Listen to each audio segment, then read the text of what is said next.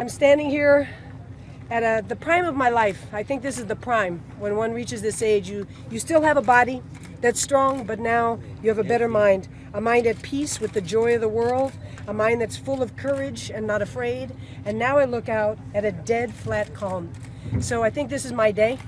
And uh, I don't know, you have to talk to me in 24 hours, and then in 48 hours, and then in 60 hours. We'll see how I feel.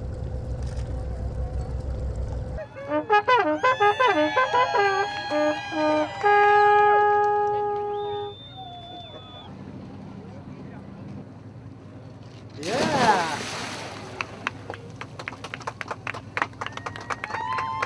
I never thought I'd come back to this sport. It's a grueling sport. It's for the young.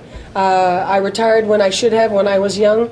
And a couple of years ago, in turning 60, I didn't want to feel old yet. I wanted to feel like there was much chi, as they say, left in the body and the spirit. And I started thinking, oh my gosh, what if I went back? What if I went back and tried to chase that elusive dream of Cuba?